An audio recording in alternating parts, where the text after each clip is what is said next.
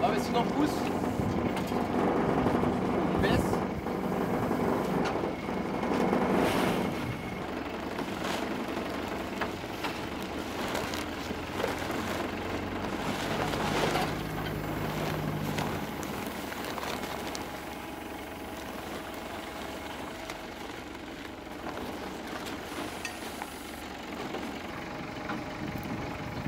alors, je suis Gilbert Maxence, je suis maître composteur au SICTOM. Euh, je suis devenu maître euh, suite à une formation avec euh, Pierre Fels.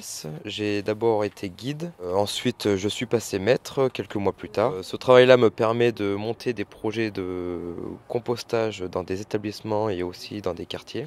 Et ensuite euh, d'animer tout un réseau euh, autour de tout ça. Alors il y a deux cellules du coup pour accueillir les déchets du coup d'un bar et aussi du jardin notre rôle à nous, ça va être de suivre ce projet-là, de vous accompagner sur toutes les opérations qui peuvent y avoir, sur l'utilisation du compost, ce que vous avez le droit ou pas de faire, et que de rendre euh, périn le projet.